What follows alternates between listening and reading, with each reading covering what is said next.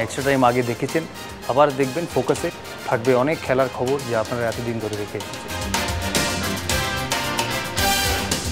After going into negotiations with a number of foreign coaches, Mohun Bagan chose to appoint Sanjoy Sen to take charge of their team with immediate effect. And Sen was elated after receiving the opportunity to manage a big club. The Mariners had decided to part ways with technical director Subhash Bhowmick last week after it was clear that the former India international would not be allowed to manage the team in the I League since he did not have an A coaching license. Sen on his part has the required coaching license and will thereby replace Shankar Lal Chakraborty as the head coach. Sen had previously been in charge of Kolkata clubs like Mohammedan Sporting and United Sports Club and enjoyed success mostly in cup competitions. Mohun Bagan are in dire search of silverware, having not won any major trophy since May 2010. Their recent failure came in Bhutan's King's Cup when they went down to Pune Apes in the semis. আমাদের committee Sanjay সেনকে select করেছে আমরাও চাইছি সঞ্জয় সেনকে আমাদের coach হিসেবে।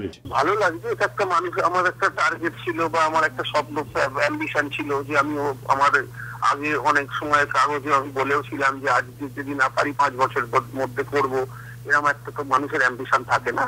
মন মানিক বলের কোচিং করা মন মানিক বলের খেলার খেলতে তো পারিনি। তো সুতরাং কোচে নিশ্চয়ই আনন্দ লাগছে এবং ব্যাপারটা হলো যদি কোনো সাফল্য পাই, অনেক বেশি আনন্দ লাগবে।